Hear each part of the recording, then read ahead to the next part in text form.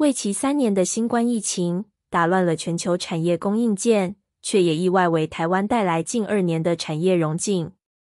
细季光电在此时空背景下成立，董事长张垂全回想，当时市场弥漫着断链的恐慌氛围，重复下单严重。细季光电二零二一年成立，就创下上亿元营收。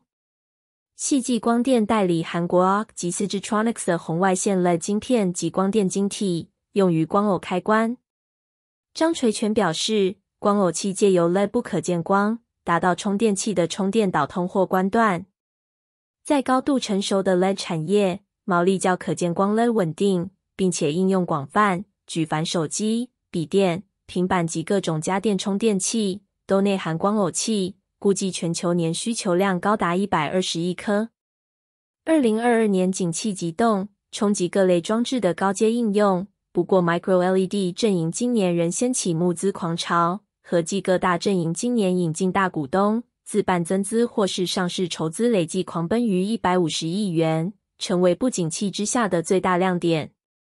而陆资厂的注资规模更超越台厂。今年大陆电视龙头海信自今年三月以来，数度增持陆资晶片厂干照光电持股。干照光电今年至少七度公告海信增持股份，第一笔入股金额达人民币四点九六亿元。根据干照光电十一月中旬披露的股权比重，海信对干照光电持股一举攀升至百分之十九点五四，稳居第一大股东。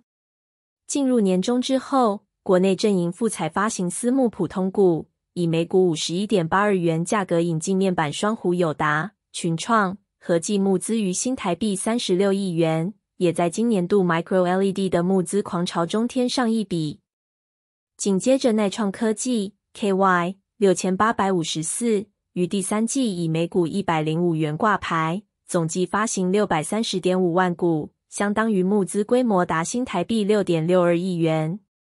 令入资面板龙头京东方大手笔斥资人民币二十一亿元入股大陆第二大了晶片厂华灿光电，最引人注目。不仅注资规模于新台币九十亿元，堪称最巨，持股比率达百分之二十三点零八，实质介入华灿的股权、经营权，剑指 Micro LED，双方的产业地位举足轻重。陆资晶片龙头三安光电虽未获下游出海口入股，但今年初三安与 TCL 华星光合资新颖科技双方出资人民币三亿元搭建 Micro LED 巨量转移、检测、修复平台，展现制造一条龙的企图心。从陆资厂的动作来看，陆资前三大类晶片厂均已加入 Micro LED 战局。吉邦科技统计，若以 Mini LED 的营收比重来看，金电、三安、华灿居前三大，合计各大阵营今年的募资规模已经超过一百五十亿元，成为 LED 行业中唯一同步募资的区块。Micro LED 成为不景气之中少数持续吸引资金投入的新领域。台湾显示器产业联合总会理事长柯富仁预估，今年在边境商旅开放下，预期 Touch Taiwan 参观人数将挑战三万人次。此外，今年展览有四大亮点，分别是智慧座舱、Micro LED、化合物半导体以及近零碳排主题专区。智慧座舱的兴起，提供驾驶更多元的智慧体验，而 Micro LED 的显示技术早已开始导入智慧座舱应用中。智慧座舱与 Micro LED 斜线 Mini LED 的关键技术搭配，将会是未来厂商发展的重点之一。也预计将在本次展览兴起一波讨论话题。今年智慧显示主题专区聚焦在智慧座舱、场域应用及解决方案。面板双虎有达光电、群创光电将大秀最新应用与新技术，加上元泰科技、康宁、默克、GIS、明基材料、KLA。以及今年首度参展的 ViewSonic 及伟创资通等重量级厂商，也将带来最新显示器产品亮相。今年 Touch Taiwan Micro LED 主题专区将有富彩集团领军旗下公司金源光电、龙达电子、金城半导体、元丰新科技及微天科技共同展出。其他重量级参展商包括耐创、汉明、巨基、东杰、来宝、台湾信越、精彩。Tory Engineering、Kulik、先进太平洋、斯托克、Coherent 等海内外厂商也将大秀 Micro and Mini LED 商机。由于今年 Micro LED 量产能量蓄势待发，在厂商多年的努力下，制造过程与成本比以往下降许多。今年展会将会看到厂商在 Micro LED 多年累积的技术及成果展示，也可预见 Micro LED 朝向主流终端显示市场将指日可待。今年先进设备主题专区聚焦在化合物半导体材料、设备、应用及先进封装技术，集结了智胜工业、君豪精密、君华精密、帆轩、雅致、贝福。大银、旭东机械及首度参展的中沙、星云、Disco 等业界领导厂商，共同展现台湾在半导体与显示器产业的强大竞争力。展场内设置化合物半导体供应链馆，由优贝克、稳盛材料、杜毅、光彦、创技、欧文、戴美、宏康、Disco、宗豪等十家厂商展示化合物半导体设备、碳化系、SiC。以及应用在化合物半导体的切膜抛加工制成技术，一起建构化合物半导体的产业生态圈，并于展览期间第二天举办化合物半导体国际论坛，邀请海内外厂商打造完整的化合物半导体供应链，提供高附加价值之技术应用与解决方案，包括 Worldspeed、onsemi、Swatech、有世界先进、星云。碳系电子等国际级大厂前来分享。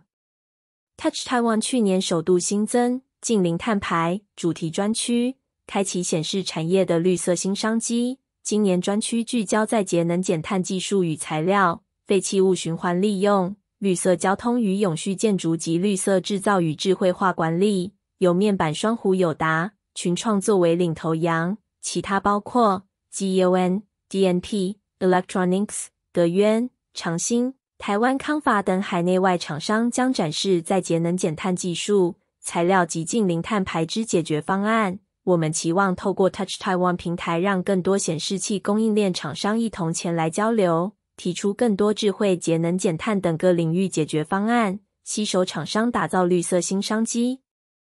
工研院研发出的高精密阵列之微型 Micro LED 全彩微型显示模组。在二零二二年荣获工研院一年一度的产业化贡献奖金牌，更勇夺有全球研发界奥斯卡奖之称的美国儿和第一百 Awards。在这殊荣背后，是工研院团队花好几年时间耕耘、累积专利所获得的成果。而团队背后的最关键人物，工研院电子与光电系统研究所组长方彦祥，同时也是整合上中下游产业的幕后推手。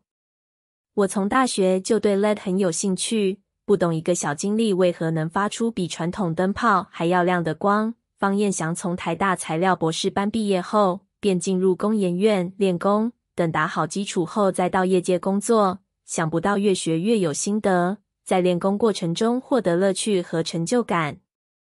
他透露，其实，在工研院第二年就拿到台积电的职缺，但发现比起研发同一种技术。他更喜欢尝试不同事物，学习跨领域知识，而在工研院有机会接触不同业务，更符合他的职涯规划，也意外开启他的多角化经营。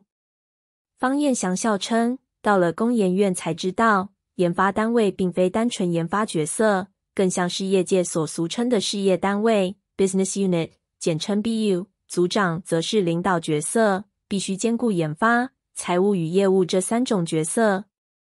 在拜访厂商的过程，让他了解到出海口真的很重要。产业链上中下游若要买单，必须有终端应用与出海口研发，必须先确保出海口的产品蓝图 （roadmap） 需求，所以必须先跟出海口厂商谈，才能确保工研院的研发方向与产业需求一致。在 Micro LED 领域深耕十年，回首这十年经历。方彦祥表示，至今印象深刻的合作就是根据机耐创和星星合作开发的显示荧幕，因为我们真的把 LED 放到 PCB 板上，整个电路真的做出显示荧幕，而且拿到二零二零年的全球消费性电子展展出。他说，这个产品横跨半导体和设备，设备材料都从日本来，这期间，他不断飞去日本跟厂商谈，而 PCB 里面的走线设计是星星负责，也来回修改好几次。到最后产品修到 CES 时，他深刻体会到，原来我们真的可以做成产品，这真的是最令人振奋的事。有了这一个上游到下游、国内到国外半导体 LED 面板的整合经验，也让方彦祥深信一定要做到终端产品。不管与友达、耐创合作的车载应用，还是 AR 斜线 MR，都是如此。工研院 Micro LED 研发量能集中在 AR 斜线 MR 技术，而现在工研院在 Micro LED 领域有一半研发能量在 AR 斜线 MR 技术。方彦祥认为，未来手机可能被 AR 斜线 MR 取代，同时走出户外使用。AR 斜线 MR 设备除了省电、高亮度外，必须以 Micro LED 作为感测器，解决分离式感测元件造成的装置庞大。另一方面，次世代的光学系统设计可克服现有显示器亮度被吃掉的问题。对此，工研院布局许多专利在 AR 斜线 MR 技术。打算开发直接作为 AR 斜线 MR 显示器的眼镜镜片，内有 Micro LED 感测、Micro LED 或镭射显示及新的光学架构，以三大方向作为主要施力点。方彦祥解释，由于目前 AR 斜线 MR 穿戴设备含有许多分离式感测器，对眼睛造成负担，所以缩小化 Micro LED，如何让它作为感测器使用，并与显示器整合，是发展关键。目前工研院在微小化了部分，已经可以做到四微米以下，而显示器很大，Micro LED 只占显示器不到百分之十，剩下至少百分之九十都是空的。这些多的空间就可以放置感测器。此外，当眼睛看东西经过镜片时，会吃掉大部分的亮度，所以 AR 斜线 MR 穿戴设备的光效率是一大问题。微软 Hololens 采用 Waveguide 波导技术，会吃掉光的百分之九十以上效率，造成显示效果差。所以工研院打算将波导架构转成下世代技术超影光学 Metalens 架构，将目前不到百分之十效率提升至百分之二十。大陆 LED 厂传出第二波调价潮，根据市调机构 Leadinsight 统计，自二零二三年五月以来。已有二十多家大陆的企业调价，下一波新价格启用时间点为七月一日。台厂表示，大陆的厂原本就是价格正央，在低阶领域杀到见骨，已经对营运造成冲击。若价格重灾区止稳，对台湾乐厂的议价能力将有正面效果，客户对台湾乐厂砍价幅度将收敛。而台湾乐下游厂包括易光、爱迪生均无跟涨计划。主要因应用领域不同，六月三十日，LED 类股表现淡定，似乎不受入场调价干扰。LED 厂表示，大陆厂商传出第二波涨价潮，主要是二零二三年营运不佳，赤字幅度扩大，欲透过调价压抑亏损，但涨价效果有限。因目前状况主要是需求面问题，且过去一年大陆 LED 厂因降价抢单而自伤，若要止血。当然也是为大陆厂商试问。另有业者指出，大陆厂商调价主要是 LED 应用元件领域，如东山、利雅得、国兴、雷曼、京东方以 RGB 户外显屏、小间距 LED 显屏为主，其余包括木林森、兆驰，则是因为先前库存售价太低，随着 LED 晶片价格调涨，下游封装产品也要跟涨。